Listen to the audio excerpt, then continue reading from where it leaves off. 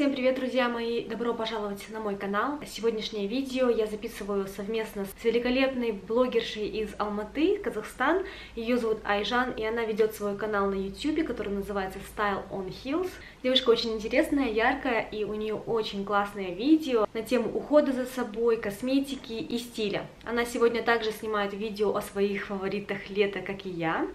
Поэтому, если вам интересно, переходите по ссылке на ее канал и на ее видео будет в описании. Давайте перейдем к моим фаворитам лета, к моим любимчикам, все, что я полюбила за это лето. К сожалению, оно все уже постепенно сходит на нет, у нас уже желтые листочки повсюду валяются, и прохладно на улице, плюс 20 где-то. Но на самом деле меня это никогда не огорчает, потому что обычно к этому времени я уже успеваю устать от жары. Давайте начнем, как всегда, с бьюти и с уходовой косметики. Этим летом я прям подсела на эту умывалку, я ее уже показывала в видео «Собирайся со мной, мое утро». Это умывалка от Клиник, э, жидкое мыло для лица. А чем оно мне понравилось? Оно прям умывает до скрипа, очень приятно пахнет, очень у него такая приятная водянистая структура. Я до этого всегда пользовалась корейскими умывалками, но они такие больше как кремообразные, такие густые.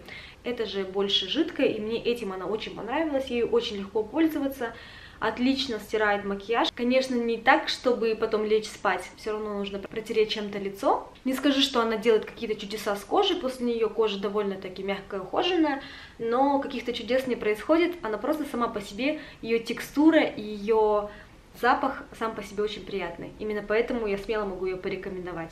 Как я уже говорила, после нее я прохожусь по лицу мицеллярной водой, и мне буквально в начале лета прислали вот такую мицеллярную воду, и вот посмотрите, сколько от нее осталось. Это говорит о том, что она мне очень-очень-очень сильно понравилась, и я собираюсь прикупить себе еще одну. Она достаточно большого объема, намного больше, чем обычно мы привыкли видеть мицеллярную воду. Это чистая линия, фитотерапия, красивая кожа, алоэ вера. Я не знаю, может быть у них есть еще какие-то другие ароматы, запахи, но мне именно этот очень понравился. Он пахнет такой свежестью, знаете, только что вышел из душа. Аромат совершенно ненавязчивый, и чем он мне все-таки понравился? После него реально, девочки, неохота наносить крем, потому что кожа настолько увлажненная после этого продукта, что у тебя реально не возникает ощущения сухости, стянутости, как это обычно бывает у меня со всеми моими мицеллярками. Я пользовалась и Гарне, и Лореаль, и сейчас у меня вот на полочке стоит Виши, которая до сих пор полная, потому что она ужасно стягивает кожу мне.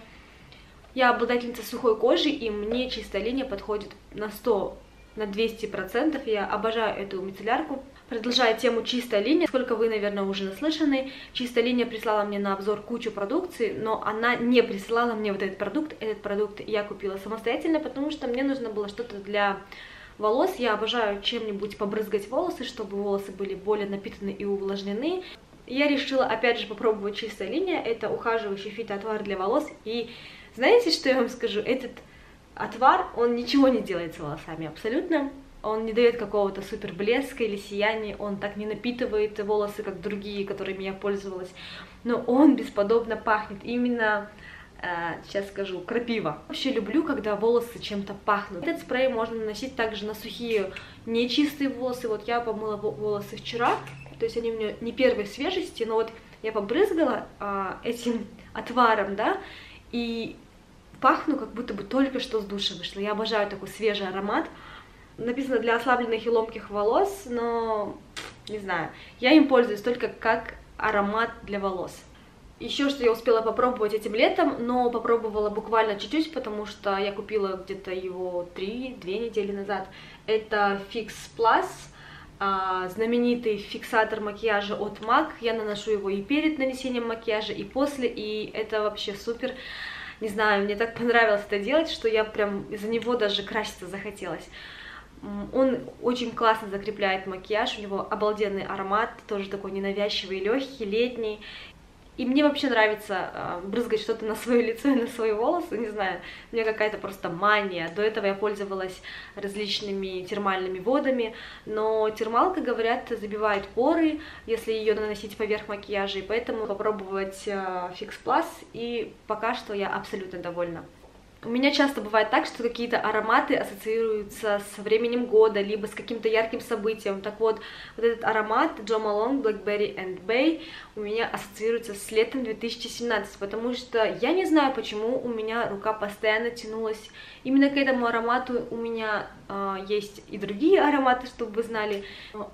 Вообще такие ароматы, которые они, по-моему, называются селективные, они очень сильно завораживают. В них столько всего сложного, я даже объяснить не могу, что после того, как пробуешь такие ароматы, а, люксовые ароматы кажутся очень плоскими, неинтересными. Я даже не могу это объяснить, но если вы пользуетесь не люксовыми ароматами, которые не представлены по французском доме, в Монами и так далее, то вы, наверное, понимаете, о чем я говорю. И я вот закончила его, здесь уже ничего нету, все лето им пользовалась, купила я давно их, мне подарили их в прошлом году еще, но почему-то сразу они меня, они меня не зацепили. Дело в том, что они очень нестойкие, и в этом их проблема. Но на лето, мне кажется, там э, самое то, тем более здесь у меня маленький флакончик, он помещается в сумку, и так как он не стойкий, в течение дня можно постоянно-постоянно брызгаться, и все будет хорошо. Что еще этим летом прям мне запало в душу, так это топы из, из плотной ткани и с тонкими бретелями. Этот топ а, понравился девчонкам в моем прошлом видео. Знаете, в чем, в чем его фишка? Фишка его в том, что он на тонких-тонких бретельках. И мне нравится эта такая женственность и романтичность, что под него я не надеваю лифчик. В нем абсолютно не жарко, еще если ты не, не надеваешь э, в, 3, в плюс 40 лифчик, это вообще супер. В нем ничего абсолютно не просвечивается, потому что у него очень плотная ткань. И в эти жаркие-жаркие дни, когда было реально плюс 40 у нас в Алматы, я его надевала каждый божий день. Также он отлично смотрится как с вечерними аутфитами, так и с шортами просто. Я из него, честно говоря, этим летом вообще не влазила. Вот для меня не носить лифчик это вообще супер. Но это вам по секрету говорю. В этом топе, кстати, ничего не заметно. Я сколько была в нем на камеру без нижнего белья, никто ничего не заметил, не сказал. Поэтому вот такой лайфхак, если вы хотите носить, не носить нижнее белье, то нужно, нужно топ покупать из такой плотной ткани, но в этой плотной ткани, кстати, не жарко. Вот в чем ее плюс. Теперь идем к книжкам. Много книг этим летом я прочитала, в том числе прослушала множество аудиокниг в машине. Но хочу вам посоветовать именно эту книгу, потому что она как раз относится к моему хобби. Это книга Николая Соболева и двух его друзей, YouTube «Путь к успеху». Какую камеру выбрать, а, какой микрофон, как работать со звуком, как научиться монтировать. Для тех, кто только хочет начать а, свой а, путь на YouTube, да, и не знает, с чего начать, эта книга просто будет настольная книга, я ее очень рекомендую. Заказала ее на сайте flip.kz. А, в ней очень много разного и по контенту, и по вообще политике YouTube, и по правилам YouTube. В общем, все о YouTube вдоль и поперек изложено. И я очень много почерпнула информации из этой книги и очень много нового узнала. Из сериалов э, и фильмов э, этим летом, естественно, все вокруг заражены «Игрой престолов». Я смотрела только «Игру престолов», жду каждую серию, как и все, очень переживаю. Есть люди, которые не понимают «Игру престолов» и говорят, блин, как ты это смотришь? Я посмотрела первую серию, это вообще безобразие, это вообще неинтересно, о чем это? Но, ребят, если вы посмотрите дальше, то вас может затянуть. Я посмотрела первую серию еще давно, мне моя сестра посоветовала, и мне не понравилось, я не стала смотреть. Потом спустя какое-то время она говорит, посмотри, посмотри, хотя бы первый сезон.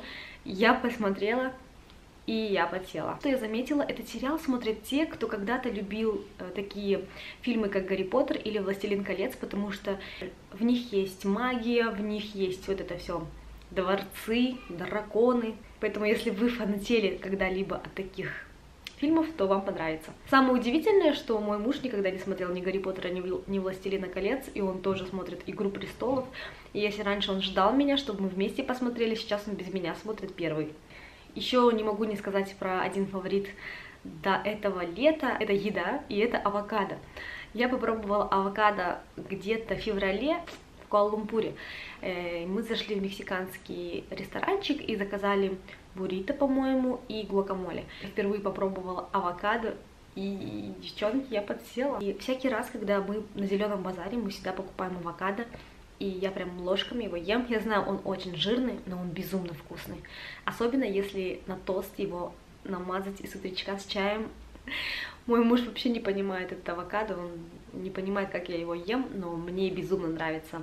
Теперь, когда мы где-нибудь э, обедаем в ресторане или еще где-нибудь, я обязательно ищу какое-нибудь блюдо с авокадо и наслаждаюсь. Жалко, у нас в Алмате не продаются авокадо на каждом шагу, потому что в супермаркетах они обычно очень твердые. И да, это были все мои любимчики этого лета. Если вам понравилось это видео, то поставьте мне лайк, подписывайтесь на мой канал, чтобы быть в курсе всех новостей. Также подписывайтесь на канал Айжан.